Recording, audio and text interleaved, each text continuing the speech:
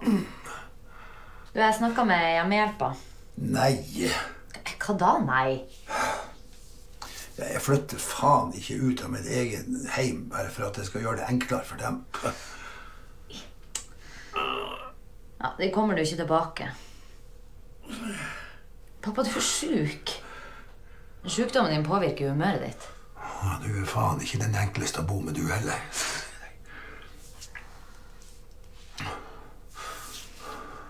De har funnet noen menneskerester oppe på Eker.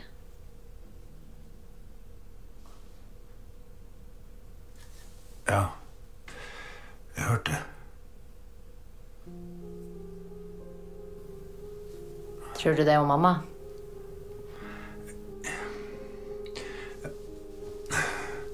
Du Men, men, men,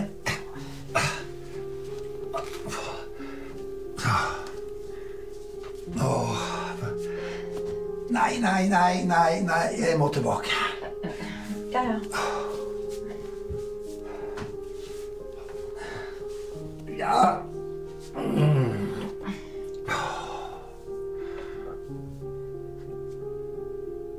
Ja, du tenkte å stå der og se på, eller?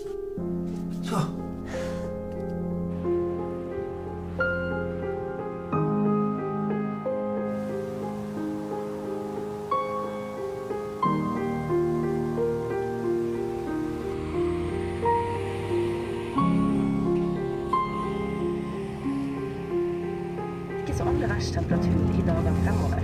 etter rundt 15 grader.